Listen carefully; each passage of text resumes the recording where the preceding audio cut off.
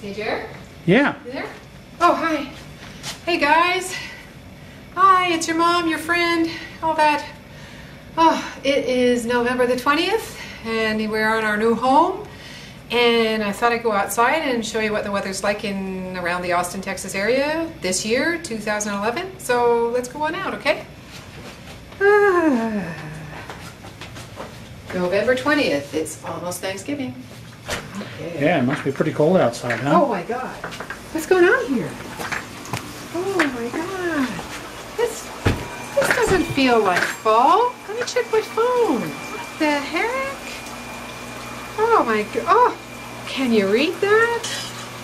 Wow. 85 degrees. How can that be? Oh my god. Well, I guess I better do away with this. Don't need that today. Do we, Jer? No, uh-uh. Holy moly. I wonder what the temperature is in Montreal today. I don't think it's 85. I'm get trouble for that. All right, just want to show you guys what the weather is like on November the 20th, 2011.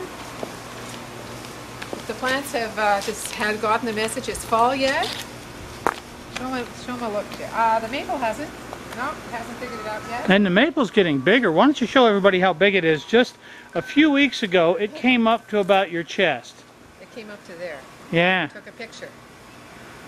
Pretty, pretty cool. So it has not got the message it's fall yet. That's crazy. As has pretty much nothing else I've been growing. Here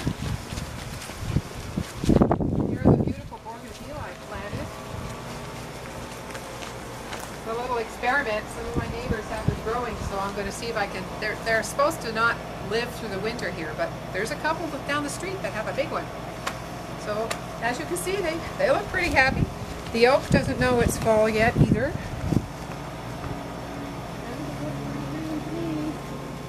Look up the street. Well, a lot of these are live oaks, but they're not, yeah, they're all live oaks, so they're not going to lose their leaves anyhow. Got one little tree over there, looks like it's turning big.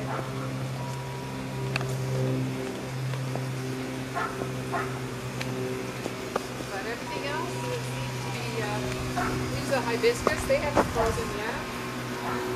This is lantana, it's still blooming. The hibiscus, it looks like it's going to pop a bud there. It's breezy. That's beautiful. Well, let's go see out back how the roses are doing. There's the birdie. Ah, everything here looks pretty good. Impatiens are still doing really well. Everything's looking pretty green. We had a nice rain last week. That helped out a lot. That was a good rain.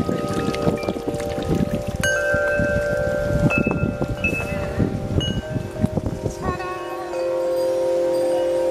What? Haha!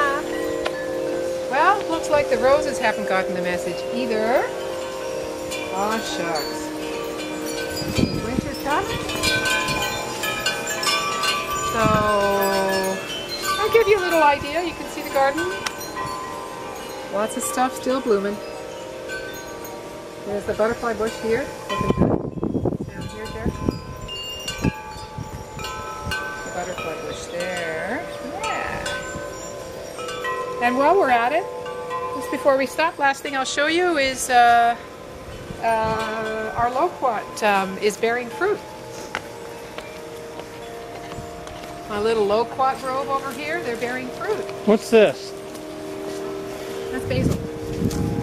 Still growing. Some pretty big basil. Yep. This is my little herb garden over here. I got basil, got a fig tree over there, rosemary, thyme, oregano. Looking good. Windy today. Yeah, it is uh, Black Eyed Susan vine. That's an annual. That hasn't gotten an idea that it's fall yet either.